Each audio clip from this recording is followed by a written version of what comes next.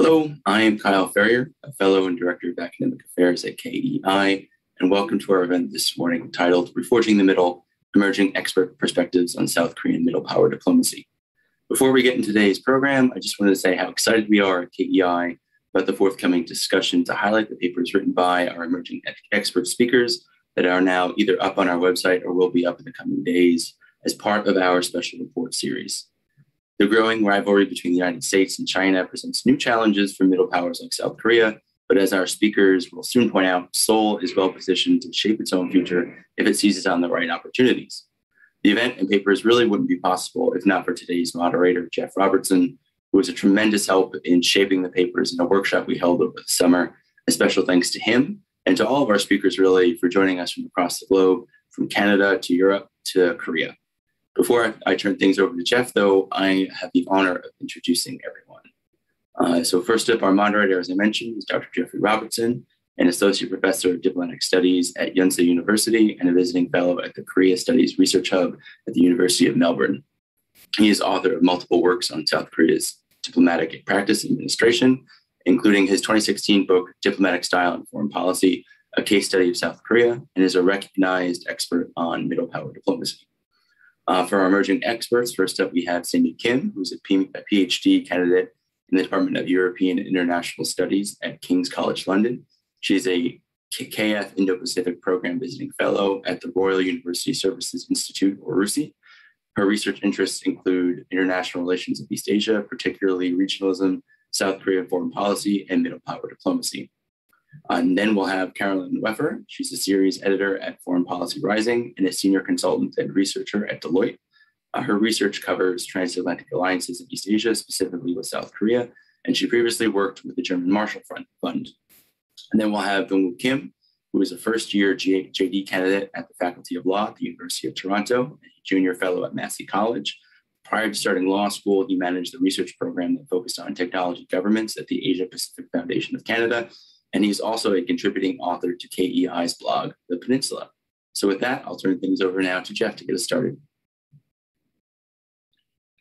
Thank you very much, Kyle. And thanks to the thanks to the Korea Economic Institute for arranging this. Um, I think it's a really great initiative and um, helping out emerging scholars um, build up their uh, abilities in areas such as middle power diplomacy, I think is really important.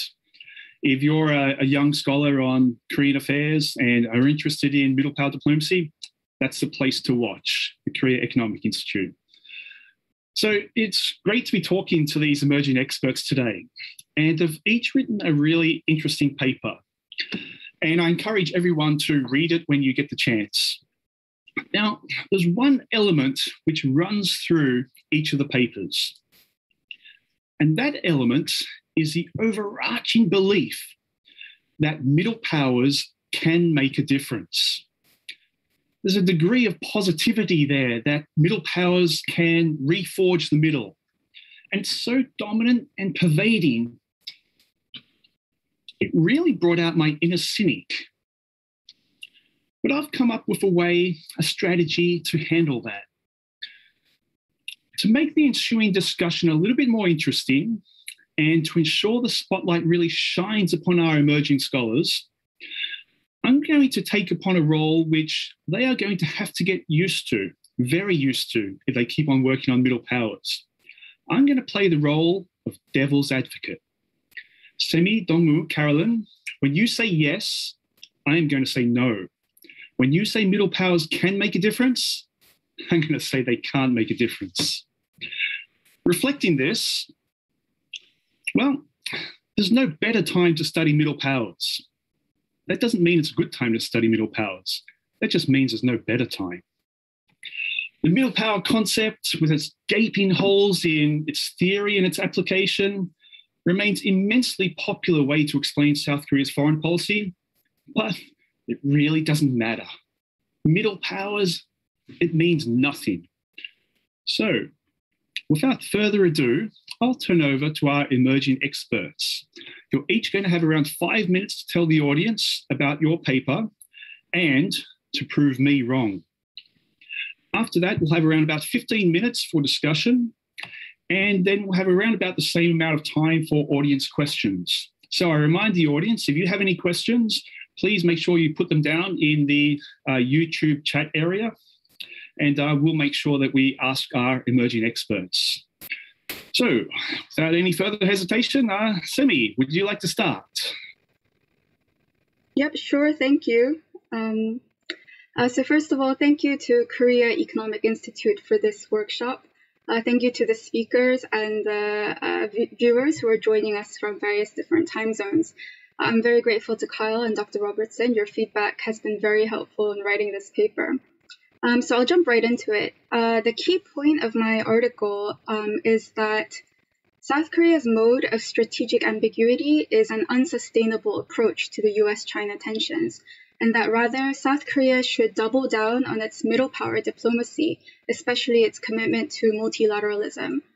Um, so, the reasoning behind strategic amb- ambiguity is that South Korea cannot risk having poor relations with either the US or China. The idea is that trade relations with China is just too big and that the US is South Korea's most important ally. And, and this is this is both very true. But over time, it's becoming clear that strategic ambiguity is uh, reaching its limits. Um, and I say there are several reasons for this. First, it's difficult to take this categorical view of the US just in terms of security and China just in terms of economy or trade. Um, we're seeing that over time, the lines between security and economy are blurring. And second, there's no guarantee that taking a strategically ambiguous stance will shield South Korea from uh, from from like the fallout of U.S.-China tensions. And third, there may come a point in the future where there's a clear expectation for South Korea to state where it stands on a given issue. Um, and if there's continued ambiguity, there's a danger that other countries would try to sway or to try to influence South Korea's position. And in this way, strategic ambiguity could actually have the effect of uh, limiting South Korea's autonomy.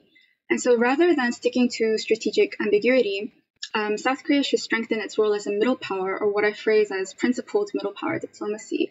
Um, and this uh, this refers to the kind of diplomacy that goes back to the classical uh, notions of middle powers, the practice of coalition building, acting as catalysts, uh, facilitators, and managers. Um, it also advocates holding, upholding values that reflect the current liberal order. So values like free trade, rule of law, multilateralism, democratic values, and so on. Um, and the aim of this principled middle power diplomacy would be to shape the environment in which the US China tensions are unfolding, and uh, through the creation of networks, use, usage of multilateralism, minilateral frameworks, and also in cooperation with other middle powers to try to moderate the, the extremities of this great power competition. And if we look at South Korea's middle power diplomacy to date, um, the concept of middle powers, it seems, was used rather kind of uh, inconsistently. There was a lack of continuity. But um, this isn't necessarily unique to South Korea. Other middle powers have also had um, fluctuations in the kinds of middle power diplomacy they adopt. Uh, there's literature on why different middle powers behave differently, and one of them suggests that in order to understand why middle power behaves a certain way, there has to be a study of the, the context, the content, and the choice that's the, the, the state is facing.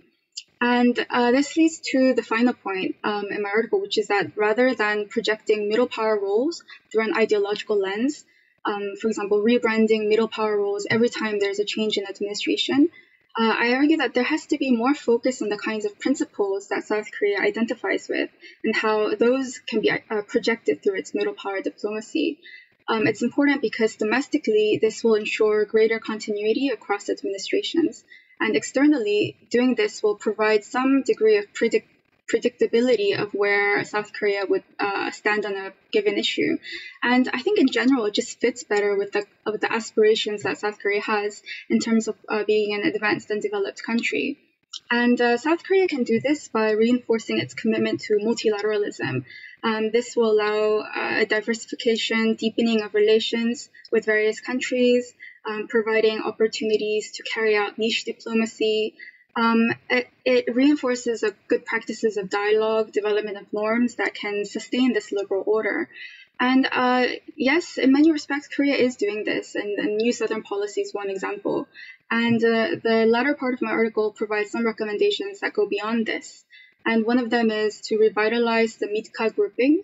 So in two years, 2023 will be the 10 year anniversary of MIKTA, MIKTA, which was set up during the Park Geun-hye administration as a grouping of middle powers, Mexico, Indonesia, Korea, Turkey, Australia, um, and South Korea should use this 10 year anniversary as an opportunity to prepare a blueprint for the next 10 years, uh, provide a concrete agenda with actionable plans. Um, we can think of something like a MIKTA Plus, you know, where we bring in uh, other countries, maybe China and the US, and cooperate on an issue by issue basis. Uh, South Korea could also consider participating in other multilateral frameworks driven by other middle powers, um, uh, such as the CPTPP or the Quad Plus. Um, okay, I will stop here. Thank you, and I look forward to the discussion. Okay, uh, Carolyn, would you like to have your turn next? Go ahead. Yes, thank you very much. And I can only echo um, Sami's thank you to KEI, to Kyle, and to Dr. Robertson for this great opportunity with this workshop. And um, my argument basically um, follows immediately um, Sami's exploration on uh, principled middle powers.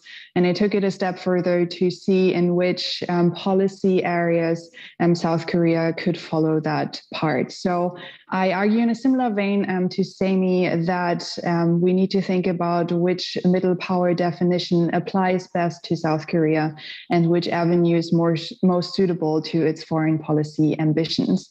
And what I found um, most particularly is that, um, as Sami said, um, there is the strategic ambiguity out of the concern to choose between China and the United States because of the strong economic ties and the strong military ties and partnership. Um, but this uh, strategic ambiguity in the long run will most likely not be feasible because of the demand to choose um, between the two sides and also the um, exogenous shocks of the increasing rivalry to which South Korea, being at the middle, is uh, particularly susceptible.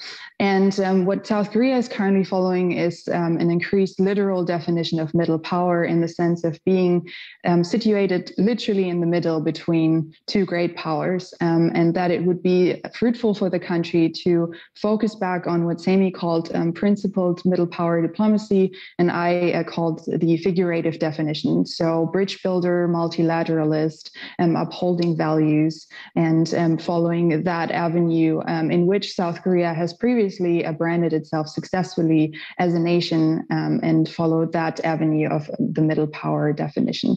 And the specific case studies that I've looked at um, where South Korea could follow this path um, and what this actually would allow South Korea to do is something that also Sami's mentioned mentioned before, um, I looked at trade agreements um, because South Korea is globally a strong economic um, actor. It has a, a, large net of free trade agreements um, that allows the country to diversify its ties, which will be essential in the future um, to be able to forge a bit of a third avenue outside of these sandwich position in a way. And so I looked at RCEP and also CPTPP um, because that allows Korea um, to play out its strong regional and also global economic role. Um, and I also uh, looked at the G7, um, at which South Korea had a guest role and argued that um, being invited um, to these fora allows South Korea to build on its multilateral initiatives and also shape the discussion around these fora and also the redefinition of these fora um, in light of um, the great power conflict, which means that South Korea will also have the opportunity to um, emerge from a sort of rule taker um, towards more of a rule maker and base that on um, the nation branding of bridge builder, as it has done, for example, by hosting the G20 um, and multilateralist.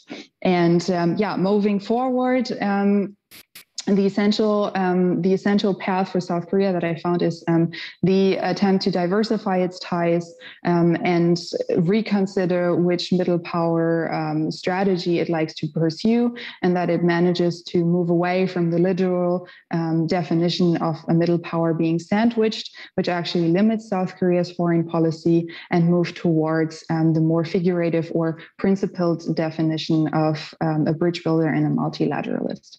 And uh, I hand it back to you, Jeffrey. Okay, thank you. Um, I think we've heard several definitions already. We're probably going to get more, right, Dongwoo? Your turn. Okay, uh, yeah, so I would like to echo the thank yous here as well. Uh, it's always exciting and life affirming to be uh, participating in conversations like this with uh, smart, uh, intelligent people. So uh, thank you very much for giving me this opportunity. So my paper is rather, it's a conceptual paper. and um, I attempted to bring together two concepts that are you know, seem to be nebulous. Uh, one being middle power, and then the other, the fourth industrial industrial revolution. Um, so I guess uh, the paper was based on the idea that the ongoing transition of our uh, entire world uh, into the fourth industrial revolution presented a unique context uh, at all levels of governance that warranted the uh, the examination as to whether middle power con- uh, middle power con- concepts could be applied to explain uh, the impact of a fourth industrial revolution vice, uh, vice versa. So uh, initially I had an order of the presentation that I prepared, but then uh, upon Dr. Uh, Robertson's initial introduction as a devil's advocate, I decided to beef up this section a little more.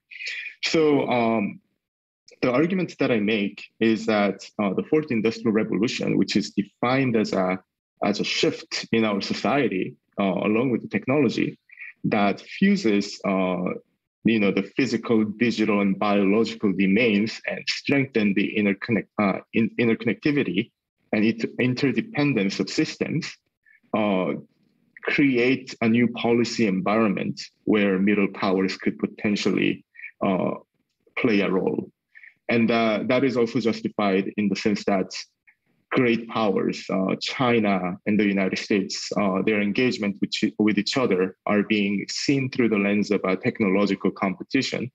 But it's not just the technology, but also how technology is governed, how technology is leveraged or used.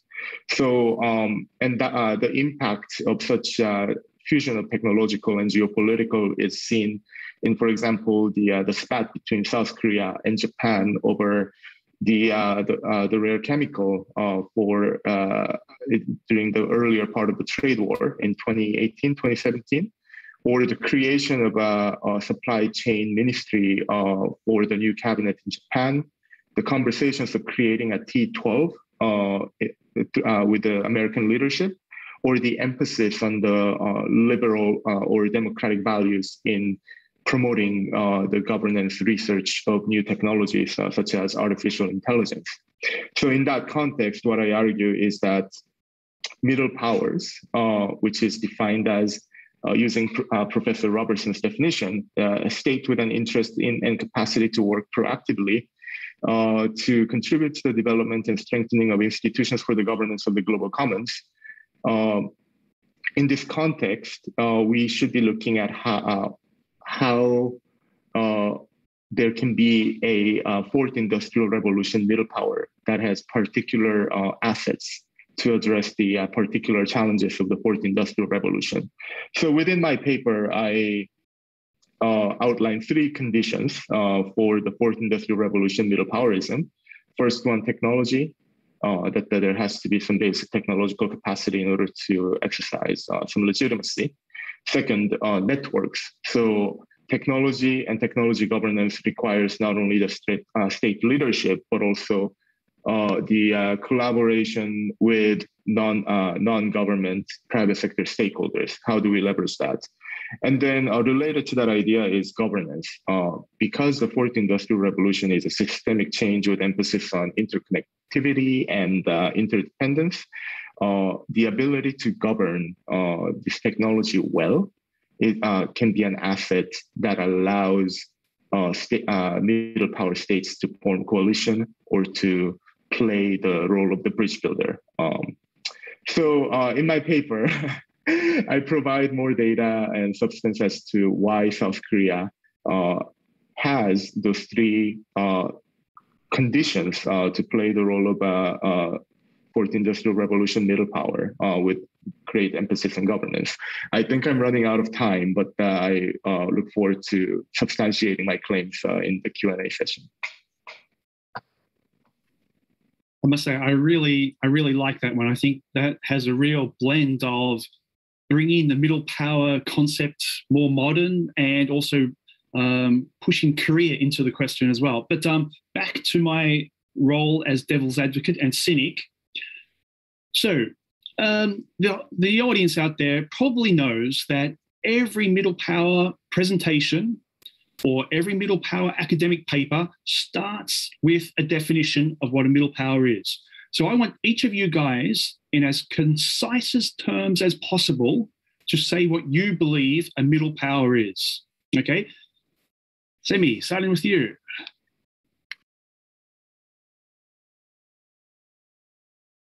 Okay, um, middle power is a, a, countries that have specific attributes in terms of geographic, normative, and behavioral. And in terms of behavioral traits, we can include things like their preference for multilateralism, uh, promoting compromise, their ability to act as good international citizens, um, their expertise in promoting niche diplomacy and focusing on uh, uh, promoting specific agendas through skills like entrepreneurial flair and acting as catalysts. That's how I would define middle powers. All right, there's a future academic there for sure. Good. Okay, Carolyn? Is it all right to just say I agree? um, actually, my definition is uh, quite uh, similar to Sami's, um, that um, a middle power is um, a specific type of country um, categorized through um, location, um, size, and normative factors um, that include, as we've previously mentioned, um, bridge builder, good international citizen, multilateralist. Um, and I would uh, add on to that um, the, ex- uh, the exercise of nation branding and self identification, that middle powers also create a narrative about themselves that follow these normative aspects. Okay, yeah, um, so it's not exactly the same as Semi's. It's a, it's verging off a little bit there. Dongwoo, in as concise a terms as possible.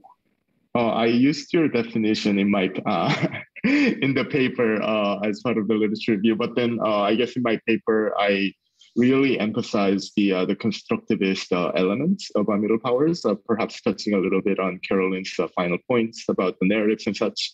But then uh, it is important uh, that uh, there is a degree of credibility from other states in seeing them as you know states that they can work with, that they can collaborate with beyond uh, sort of the ideological uh, bifurcation and such, uh, and such. So I think of it uh, more theoretically like as a uh, golden mean kind of a thing. It's very contextual. It depends on what kind of geopolitical environment we're talking about. So today we can talk about it in context of uh, China-US rivalry, but then how that could change decades down the road. I don't know. But then uh, I think that there we'll have to find another middle by using our practical wisdom, uh, the Aristotelian concept. Okay, cool. I'm going to put you all on the spot here. I'm going to make it difficult and I'm going to push harder on this. All right. I'm going to give you each a country and you tell me whether that country is a middle power according to your definitions. Okay. Um, Semi, you're going to have Saudi Arabia. Saudi Arabia is a G20 member, it's a 19th largest economy, it's hugely influential within its region. Is it a middle power? Carolyn, you're going to have Brazil eighth largest economy, hugely influential within its region. Originally a strong supporter of the middle power concept at the end or the start of the sorry the start of the UN, but we don't really consider it a middle power anymore. And then lastly, Dongwoo, you're going to get Russia. Russia is just one rank ahead of South Korea in GDP in nominal terms. Why why don't we call it a middle power? Semi, what do you think?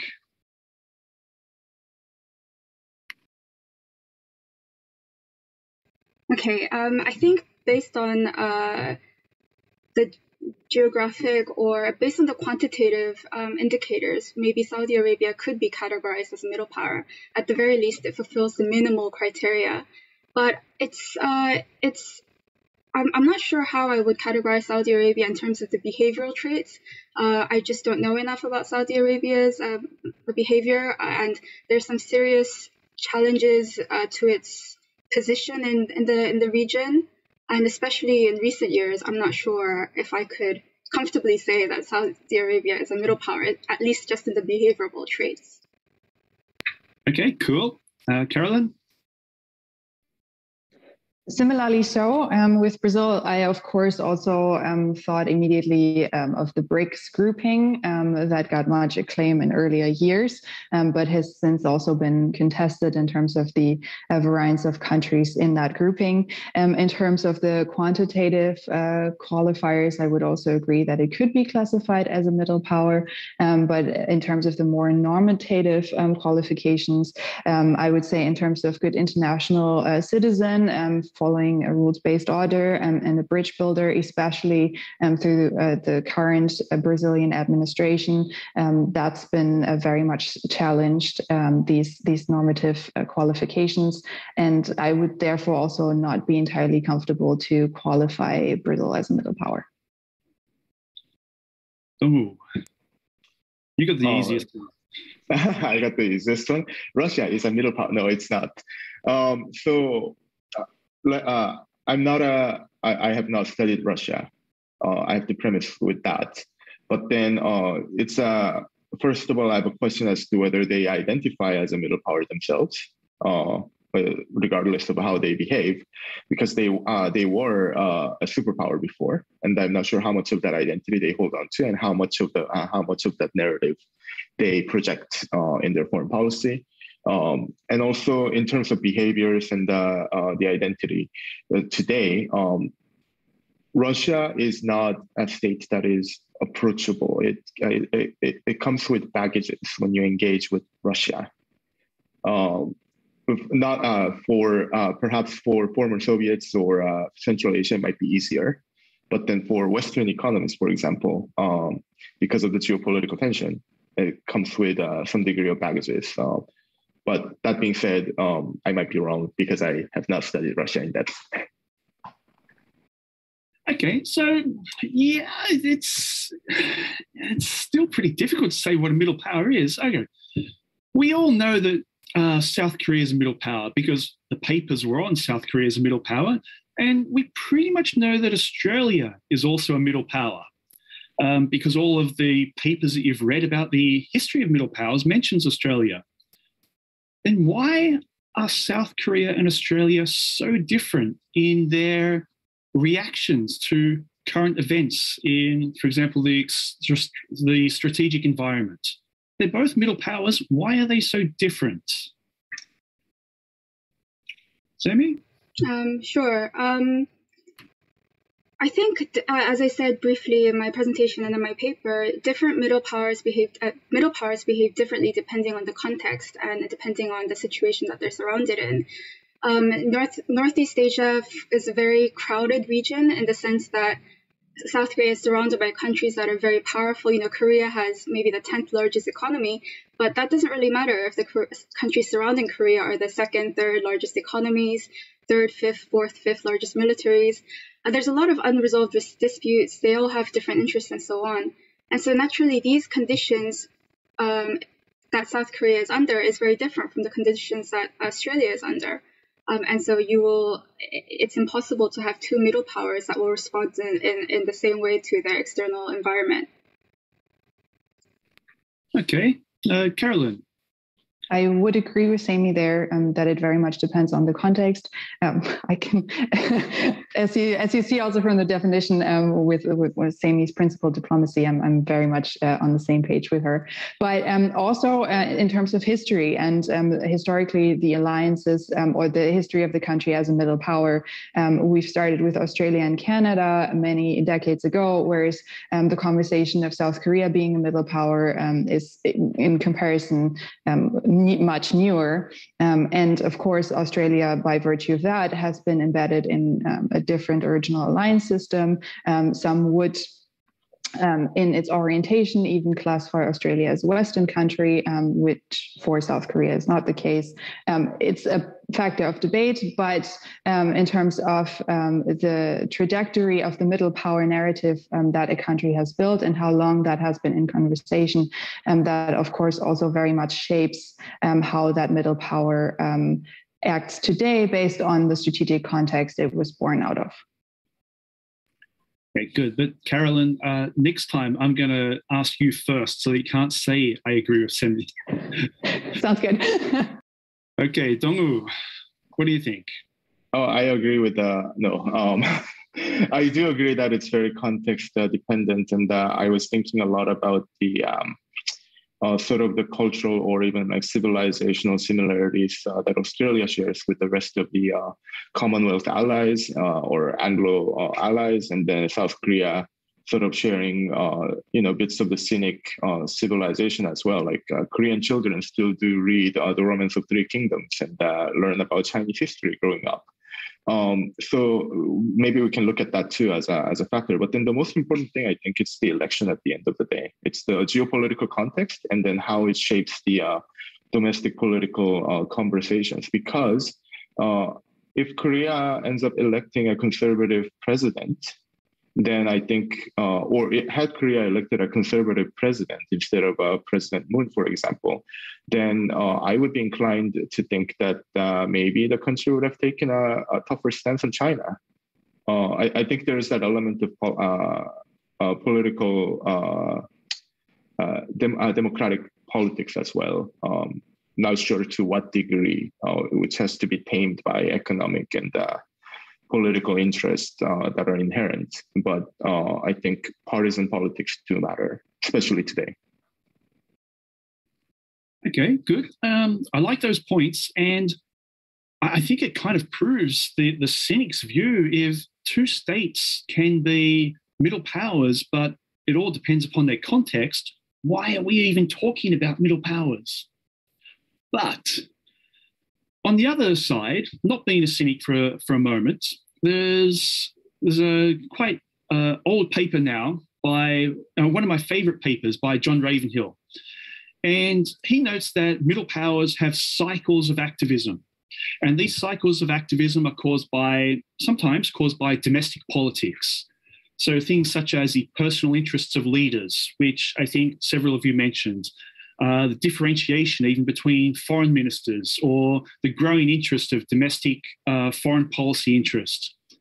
Um, it can be caused by partisanship between different political parties.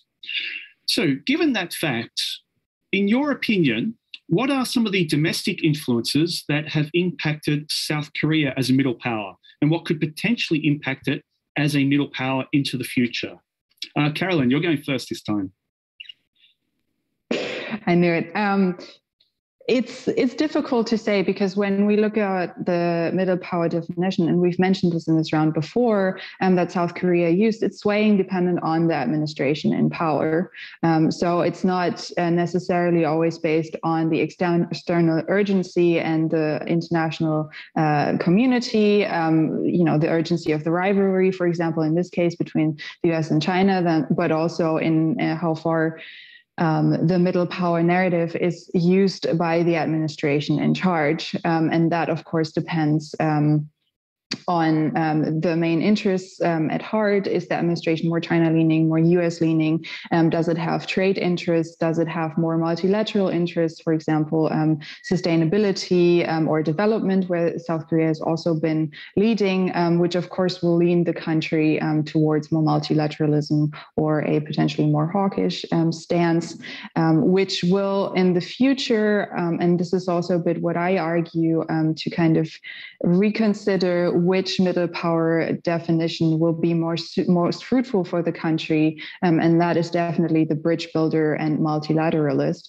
Um, and that it will be most helpful for South Korea moving forward, also in the diversification of its ties and its international standing, um, to agree on a thread um, for that middle power definition. And of course, that will be difficult from administration to administration, but um, that would be um, a goal to try to attain and that there's agreement moving forward um, also longer term agreement on what kind of middle power definition south korea would like to follow across administrations.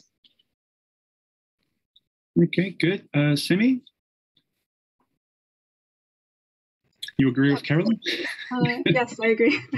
Um, i think there's um, there's two aspects to this. There's actually areas of middle power diplomacy in South Korea that haven't been uh, cycles, that have been consistent. And these include things like peacekeeping operations, official development assistance. And what we can, what, what looks like is cyclical is things that are uh, determined because of the changes in administration.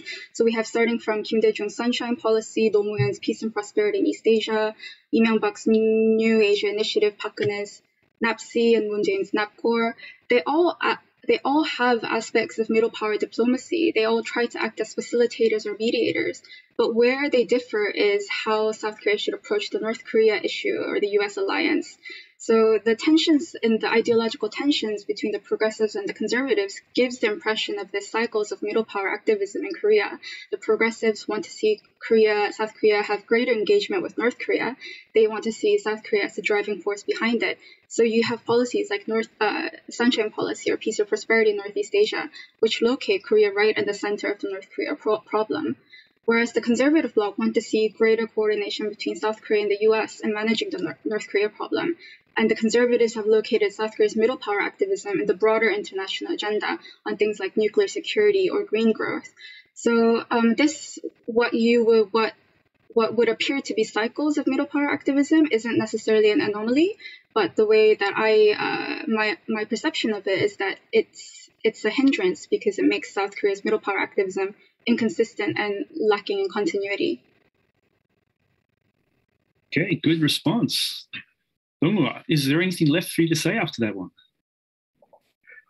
No, not really. Oh, I mean, uh, a little bit, but that was a really uh, excellent uh, response from Sammy. Uh, and uh, the ideological element was what I was thinking about, uh, especially because I, I would argue that, yeah, it, when geopolitical tensions are not as highlighted, and especially in Korea, where the Cold War politics still have have shaped so much of the uh, the public and political uh, landscape. Uh, when so when the uh, geopolitical tensions, uh, which uh, mirror the the Russia, the Soviet-U.S. rivalry during the Cold War, so today we have China-United States competition. The same language and same sort of framework gets used, and um, uh, middle powerism, uh, middle power diplomacy could be hindered. Uh, when that kind of tension is less heightened, then uh, I, I, think uh, middle power diplomacy uh, is more of a bureaucratic work that can be done uh, without uh, getting much public attention. But in, uh, today, like for example, if we're talking about technological cooperation with China, this could easily become a headline news where you know personal data of South Koreans become exposed to a Chinese government or something like that, and and that could directly impact Korea's potential collaboration with China on you know uh, some te- uh, big scale technology projects. Uh, yeah, so but that's relation to China. But in terms of middle power diplomacy, uh, I think that forces uh, the government to wonder whether what they're doing in between the United States and China is appropriate and uh, something that wouldn't cause pr- problem from either side of the aisle okay, you're you're pretty much jumping ahead of time here because you're going from the domestic to the international. But fair enough, I'm leading into the international anyway. So John Ravenhill also noted that um, these cycles of middle power activism uh, vary according to the international agenda. So he specifically talked about declining tension between superpowers and the declining US hegemony. At that time, Japan was rising. And he believed that this led to more middle power activism. And it was very true. So, we're, I guess, at the other end of the pendulum swing at the moment, at the moment, uh, a point of time where tension is actually rising between major powers. And as you're more than aware, uh, the tension between China and the US, some people argue the middle power moment could be over. If you think about the Second World War and the Cold War, during periods when security tension is high, middle powers have tended to toe the line and they're not very active. But during periods when uh, security tension decreases, middle powers become more active. So then, is the middle power moment over with rising US China tension? Um, who wants to go first? Anyone can choose. I would. Uh, I would try this one, um, and this is also coming from uh, the perspective of the transatlanticists in my case, um, obviously. But I would say it almost becomes more important now um, just because we have a if we compare it with the second world war or the cold war um, the, the dependencies in the international system are different um, to previous times which also um, makes comparisons over time a bit lacking um, because i would argue that each uh, middle power moment is unique.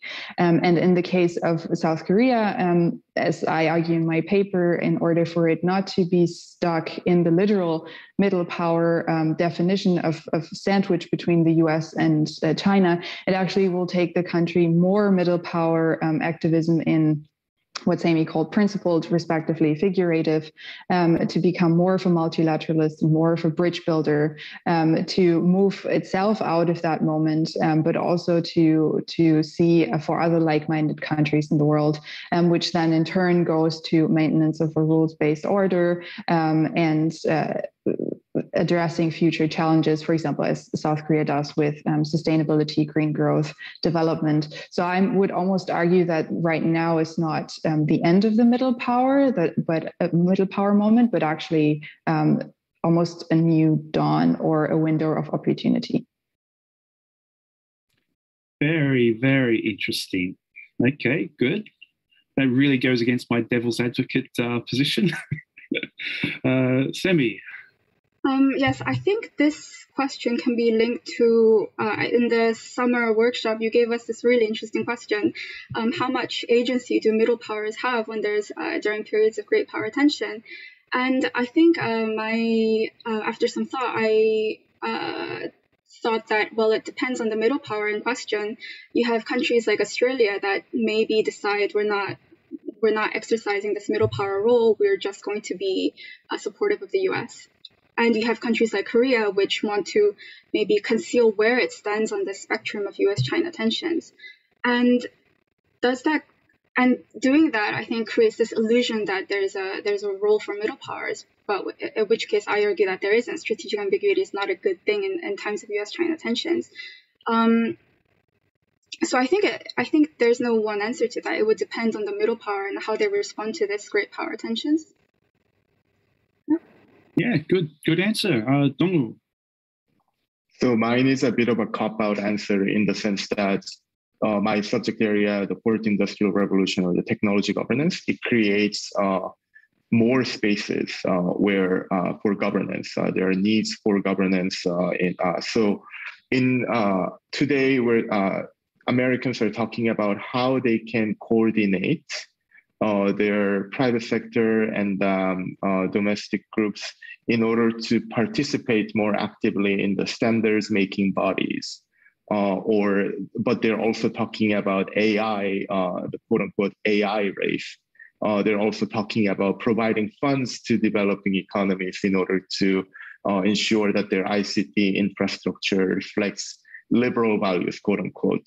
So it's really wide. Uh, there is a wide range of initiatives and uh, governance opportunities. And actually, uh, Eric Schmidt uh, from Google who uh, submitted this paper um, about uh, the U.S.-China strategy to the to to the government, acknowledged that America is not going to be able to take leadership in everything because there's so many things to be done, and that they will have to rely on uh, their allies, uh, their partner economies, in order to deliver some of the goals that they have.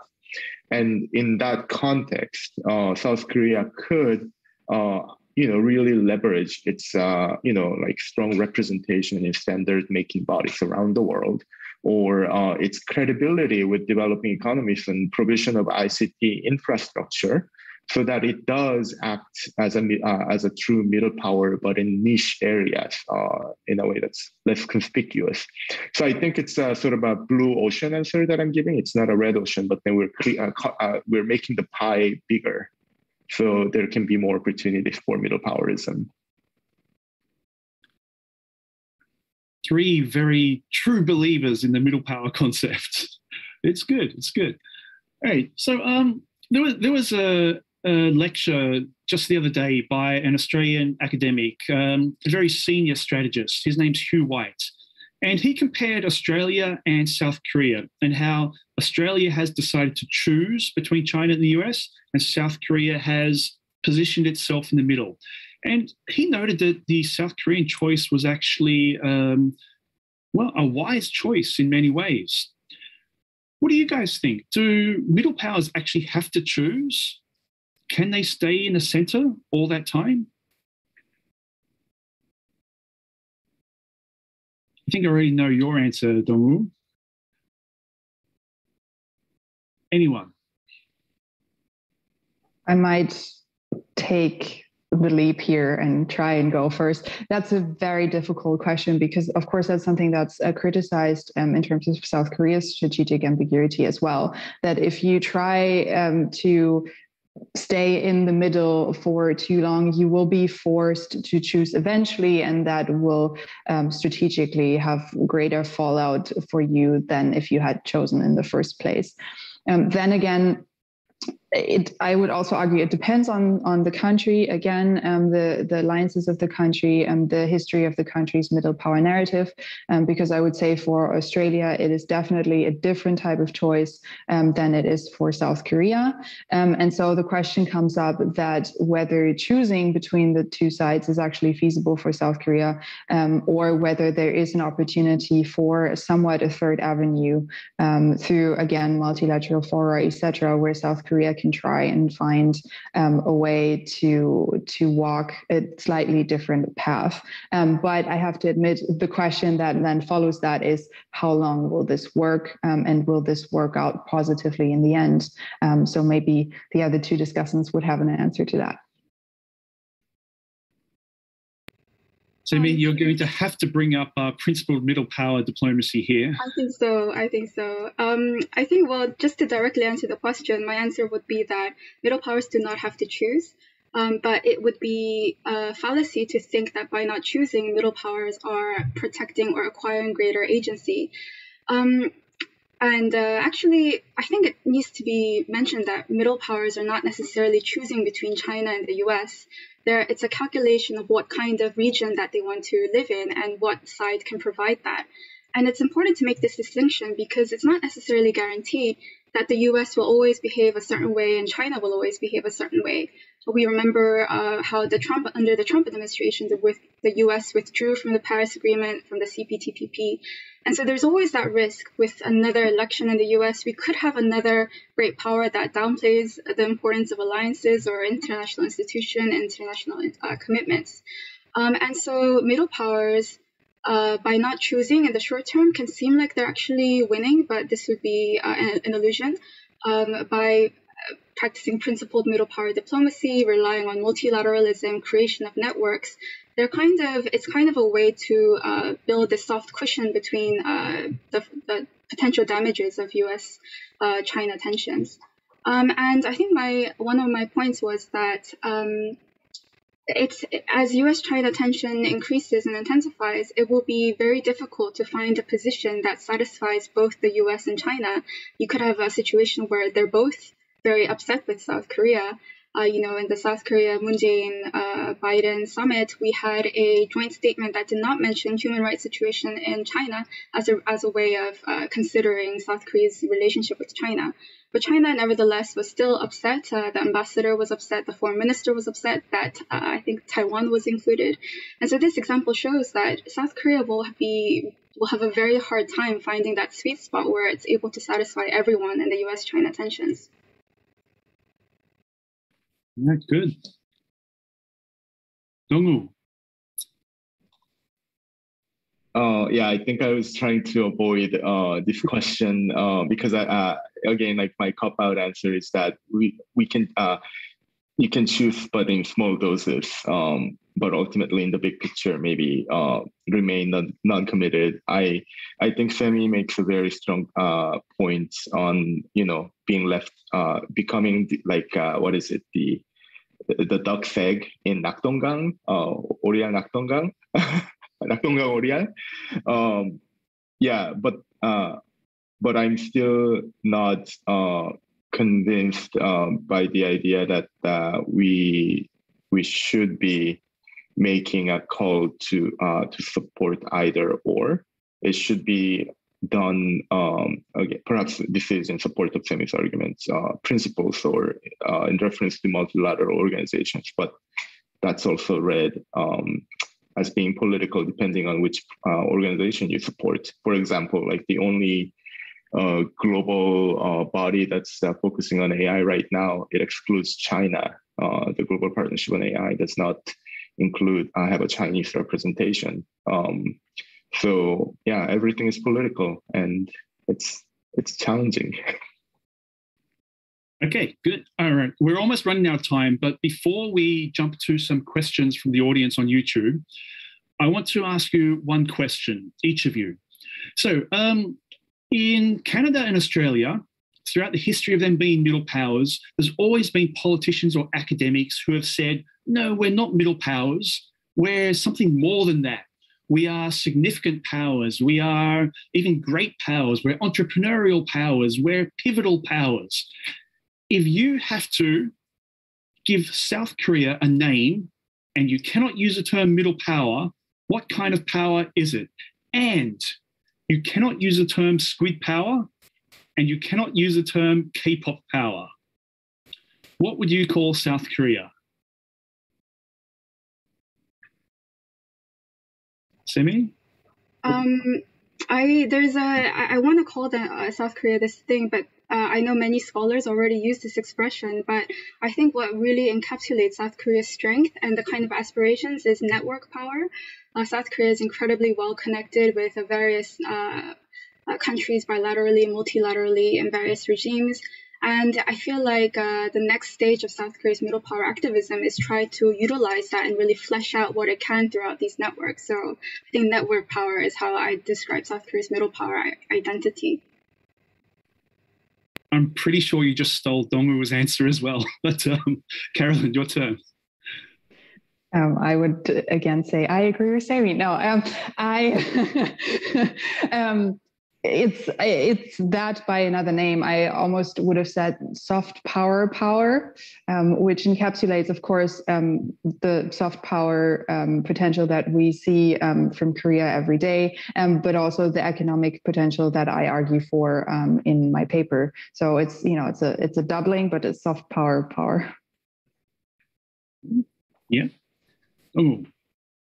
Uh, so a term that caught my eyes, and we actually talked about it at the beginning of you know this uh, work, uh, the early stages of the workshop, the idea of uh, 선도국가, uh, and I'm not sure how to translate that effectively into English, but then uh, 선도 is like the idea that you uh, you lead by demonstrating, uh, you lead through good behavior, kind of a thing, and uh, I've noticed uh, President Moon using that expression uh, in a lot of his, uh, you know, official statements that South Korea will be a 선도국가 uh, in, you know, like green, uh, green growth or in governance of digital technology, uh, in the sense that South Korea takes a lot of hot shots uh, in uh, in terms of policy. They take aggressive uh, stances depend, that are surprising from time to time, and they're very agile in moving forward in some policy areas. And uh, that could be seen as a good example uh, that earns the, uh, uh the um, authority or legitimacy from other economies. So I think that could be a term that uh, I could use, but I would have used network power too, but Femi went first. Okay, cool. Um, yeah, I, I, still think squid power is pretty good, but um, all right, we'll avoid that as much as we can. All right, we've got a few questions on uh, the YouTube chat. Uh, one of the questions is uh, how does access to markets for soft power change South Korea's attitude towards these states? So, South Korea has restricted access for its cultural exports to China but has an open market for its cultural exports to the United States. How does this affect South Korea and its orientation as a middle power? Does anyone want to take that one? Could I just ask a clarification question? Like that uh, is the question saying that um, access to Korean and uh, soft power is closed in China? Yeah. Yeah.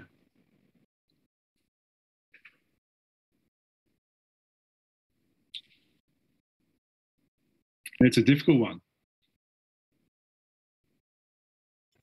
Uh, I just to get the conversation started, I would say, I mean, this is this is a question related to soft power, and it's uh, related to South Korea's cultural attractiveness.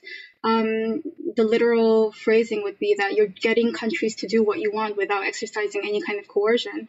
And for South Korea, this has been very successful. You know, BTS, Squid Games, Parasite, and I think countries are realizing that this well, maybe China is uh, wary that this kind of cultural power could lead on to uh, or could become embedded in things like political values, which explains this kind of uh, awareness towards Korea's cultural products. I don't think I really answered the question, but just to get the conversation started.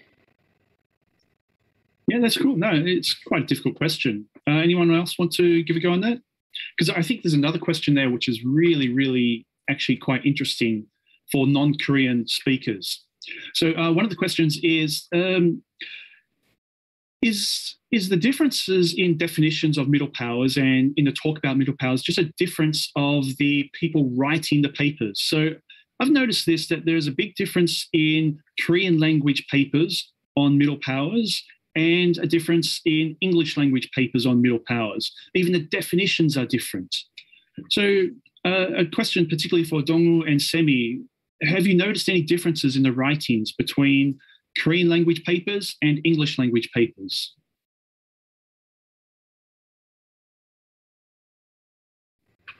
Dongwoo, do you want to go first?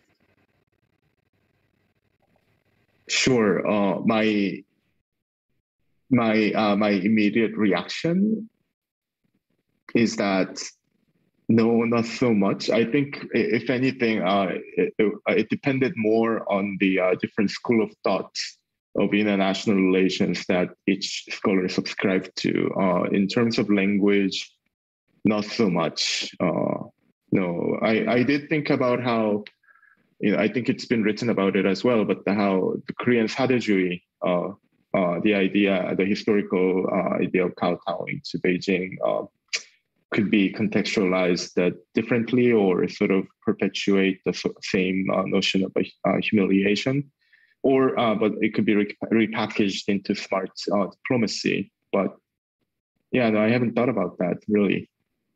I actually noticed like uh, strategy that comes across in english language papers as well but what didn't come across in english language papers i thought was more the network diplomacy like papers by kim Sang kim Sang-bae he writes a lot about network diplomacy and a lot about your ideas, uh, Dongwoo, uh, when he's writing about middle powers. And um, I haven't really seen that in English language papers all that much.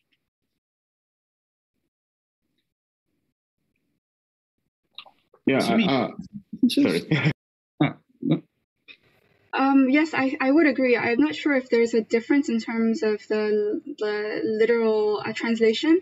I do know in Korean literature there are maybe a few ways to, to talk about middle powers. 중간국가, 중견국가. Um, maybe there's a, a maybe there's a tendency to use it maybe in spatial terms, geographic terms, rather than an abstract or conceptual way. But other than that, I don't. I'm not aware of uh, this kind of uh, usage in, in, a linguistic sense. Okay, good. Carolyn, anything to add? What about in? For, yeah, go ahead. Sorry, for me, it's um, it's very interesting as my my understanding of, of Korean as a language is still very much involving um, to just know that as well. Because in terms of also accessibility as a researcher, um, I find it very important to be able to understand the local debate. Um, because I'm also from a non-English speaking country, um, and so of course you find that the conversation at home, so to speak, is um, can definitely vary um, from what is uh, predominant in, for example, the English speaking literature. So that's been very interesting. Excellent. Uh, that was, yeah, a stimulating conversation. So I've got one last question for you guys, one very last question. And that is middle powers change, great powers change, all powers change. South Korea, is it always going to be a middle power? Could it one day be a great power. I mean, think unification could be in the future. Guys, is it always going to be a middle power?